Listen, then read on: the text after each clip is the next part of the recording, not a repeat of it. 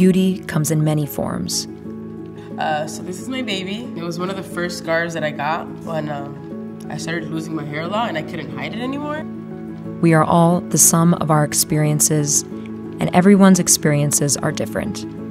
So, I was diagnosed with alopecia when I was five years old. I had to fall in love with myself. In this series, we're talking about alopecia areata.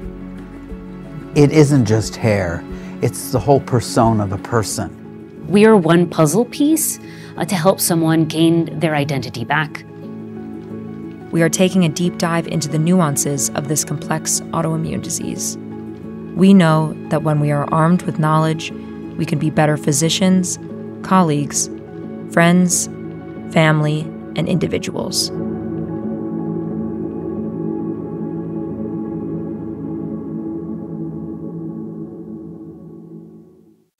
Alopecia is simply the medical terminology for hair loss. Alopecia areata is a specific type of hair loss due to an autoimmune inflammatory response which attacks the hair follicle. Alopecia areata affects 2% of the population. That's up to 6.8 million people in the United States alone, almost as common as psoriasis. It can impact individuals of any age, sex, or ethnicity.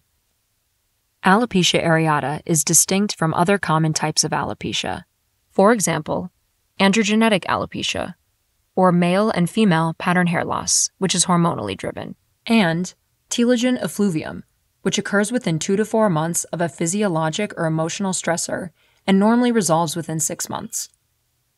Though patients with alopecia areata often report being otherwise asymptomatic, itching, tingling, or scalp pain may be experienced prior to the onset of hair loss.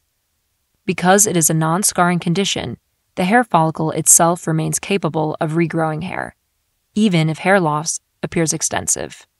Alopecia areata can range in presentation.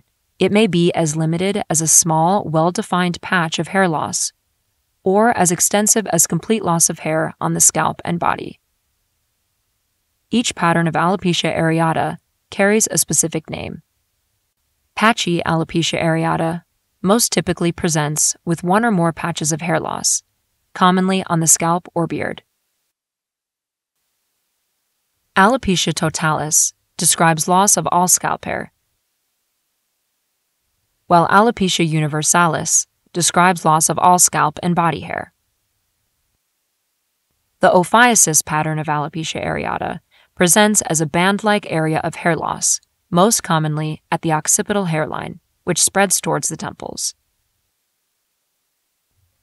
Ophiasis spelled backwards is Sisaipho, another pattern of alopecia areata, with the opposite distribution of hair loss.